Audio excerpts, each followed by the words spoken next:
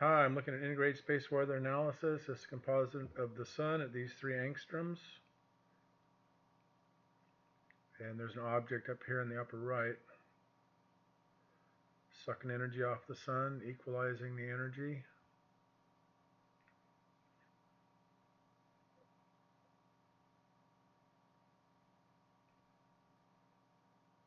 Hard to tell the size, but you can see all the circles around it.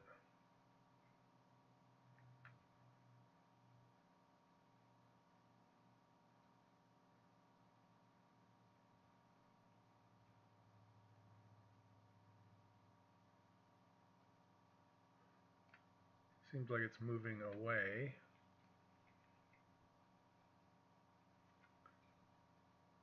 I guess they just move with the rotation of the sun.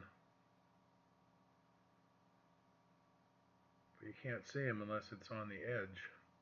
They just sort of blend in, I guess. Well, not for NASA, just for the people that look at this crappy information we're given because they know where exactly where everything is. So here's the magnetopause of the Earth, sun's on the right. But one of the ideas is that the planet X system is coming up from the southern, if you look south on the Earth, then it's from that direction in space. And in, indeed, it seems like the magnetopause collapses here on the southern side. And just overall, whenever I look at this, there always seems to be a little more pressure on the southern side. There it's collapsing all over the place. Which protects the earth from solar wind, rays, energy, harmful material, or harmful energy.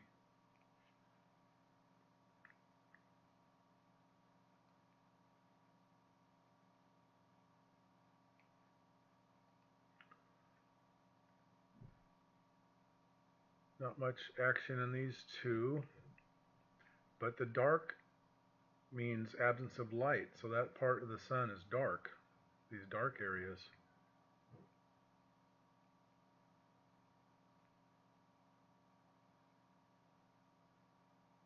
Or absence of light.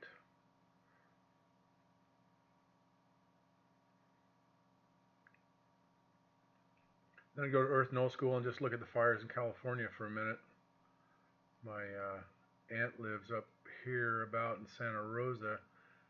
She was going to fly up here, but it turned out last minute tickets like $900, so she said no. She's just staying inside and not moving around much. But that is a lot of smoke. Well, it's radioactive smoke now because everything is everything's radioactive now. So whatever you burn is radioactive smoke. So you really don't want to breathe that, but the way it is.